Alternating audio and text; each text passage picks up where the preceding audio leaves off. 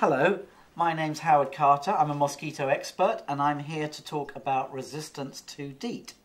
Whole species of certain mosquitoes have now built up total resistance to DEET. New research published this year indicates this resistance has the potential to spread to all mosquitoes. This would mean you would have greater protection from olive oil than any DEET product. Because of overuse, resistance to DEET has been hypothesized for many years.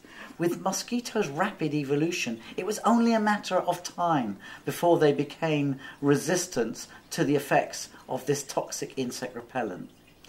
The speed at which total resistance happens depends on how much, or rather how little, DEET is used over the coming years. If DEET is used sparingly, then it will continue to have a place as a repellent. On the other hand, if high usage continues, it will become absolutely useless. Individuals are already getting increasingly bitten using DEET compared to 10 or 20 years ago.